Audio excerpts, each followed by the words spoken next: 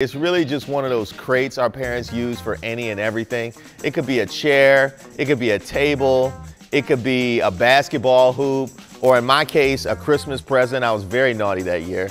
Now, crates and duct tape are two things every household had and used. And this guy here is using his crate as a bike basket. Now, I just hope whatever he's using to hold that basket on safely keeps this dog safe and if the dog does fall out, by the way, just go ahead and pick it up and send it in to me. These look exactly like the ones I've been searching for. So if you see a Most DC thing, send it my way. I'm at Reese Waters on Twitter and on Facebook, or email rwaters at WUSA9.com. And if you see a pug or bulldog, send it to 4100 Wisconsin Avenue, Washington, D.C., care of WUSA 9.